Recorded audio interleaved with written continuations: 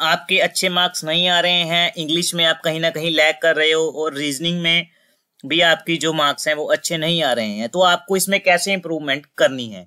आज के हम इस वीडियो में वो जानेंगे। नमस्कार दोस्तों, खुशबू क्लासेज में एक बार फिर से आपका स्वागत है।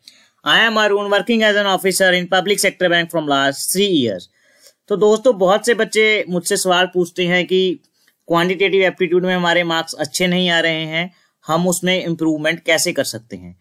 यूजली सभी का जवाब ये होता है कि मॉक्स आप देख के इम्प्रूवमेंट कर सकते हैं, लेकिन मॉक्स को किस तरीके से वैल्यूएट करना है आज हम उस इस वीडियो में जानेंगे। सबसे पहले तो आपको क्या करना है, अपना सिलेबस देखिए, जो भी मैथ्स का सिलेबस है बिल्कुल बेसिक से, हर एक चैप्टर को आपको बिल्कुल बेस से स्टार्ट करना है। धीरे धीरे जब आपका बेस क्लियर हो जाएगा, फिर आपको हाई लेवल क्वेश्चंस की तरफ़ जाना है। इसके लिए आप कोई भी एक बुक उठा लीजिए, ज़्यादा मल्टीपल सोर्सेज आपको लेने की ज़रूरत नहीं है, एक बुक उठा लीजिए जो लेवल अच्छा हो।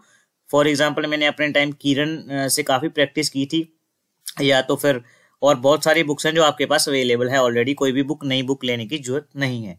आप उसमें से बेस से लेके हाई लेवल तक आपको जाना है। ऐसे करके हर एक चैप्टर को आपने स्टेप बाय स्टेप सॉल्व करना है। जब आपका ये सारा सिलेबस एक बार कंप्लीट हो जाएगा, तब आपको क्या करना है? बहुत सी वेबसाइट्स अवेलेबल हैं जिसपे मॉक्स अवेलेबल होते हैं। जो सेक्शनल भी होते हैं कंप्लीट भी होते हैं। आपने हर रोज एक सेक्शनल मॉक ज़रूर लगाना है क्वांटिटेटिव एप्टीट्यूड का। सेक्शनल मॉक लगाने के बाद आपको, आपके एक मेन मोटिव होना चाहिए कि मॉक चाहे एक दिन का एक लगा लो या दो दिन में एक लगा लो, लेकिन आपको उस मॉक को वैल्यूएट ज़रूर करना है कि मैं कौन से सेक्शन में और किस पार्ट में लैक हो रहा हूँ। सपोज़ कीजिए क्वांटिटेटिव एप्टीट्यूड में आप टाइम एंड वर्क का आपसे क्वेश्चन सॉल्व नहीं हुआ। फिर आपको बैक आना है अपने पिछले स्टेप पे। पिछले स्टेप में हमने क्या किया था? बेस, बेसिक से लेकर हाई लेवल की तरफ़ क्वेश्चन दोबारा से रिवाइज किए थे।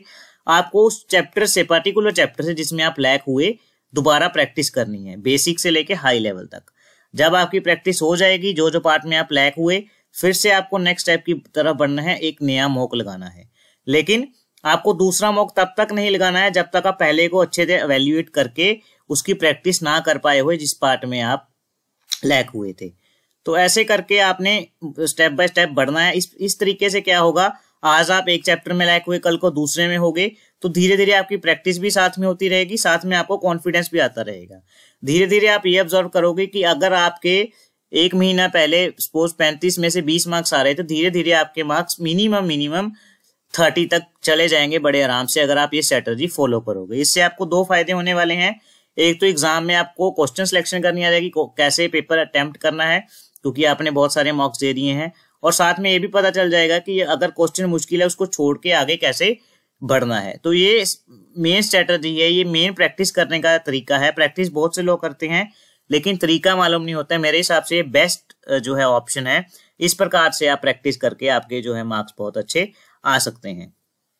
अब हम बात करते हैं दोस्तों इंग्लिश सेक्शन की। तो इंग्लिश में बहुत से बच्चे लैक होते हैं, वो रूल्स पढ़ते जाते हैं, लेकिन रूल्स कैसे अप्लाई होने हैं वो उनको जो है समझ में नहीं आता एग्ज़ाम में।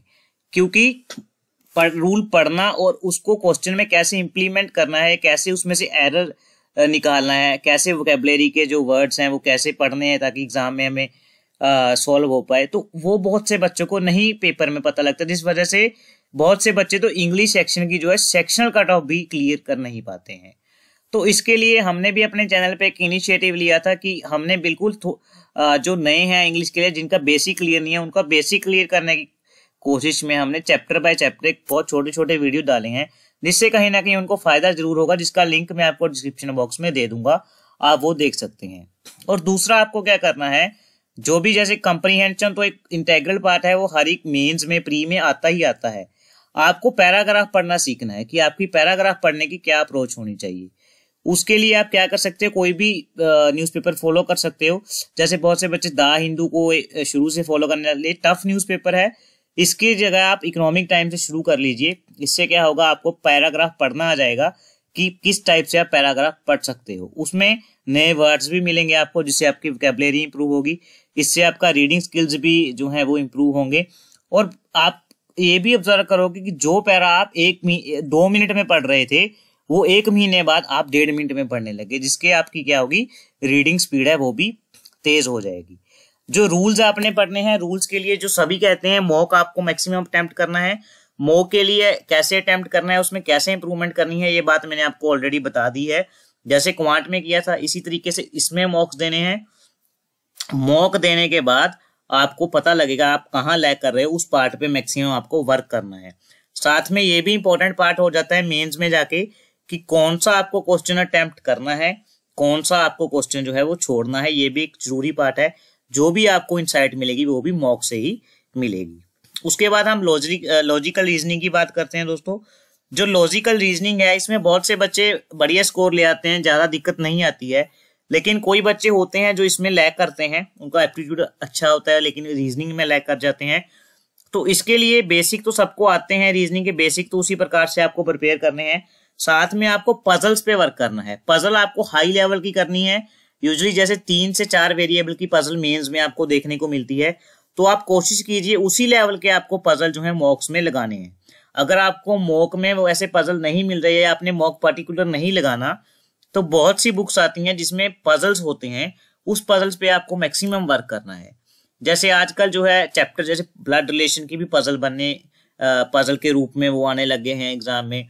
या और बहुत तरीके की पजल होती हैं। मेनली आपको उस पर वर्क करना है। अगर आपको अप्रोच सही मिल गई पजल बनाने की तो आप किसी भी पार्ट में जो है रीजनिंग के आप मार नहीं खा सकते। आपके बहुत अच्छे स्कोर आएँगे। अगर आपको ऐसे ही गाइडेंस चाहिए और आपको लगता है कि इस वीडियो से आपको कोई फ़ायदा हुआ तो आप मेरे चैनल को लाइक और सब्सक्राइब कर दीजिए और नीचे बेल आइकन को दबा दीजिए। थैंक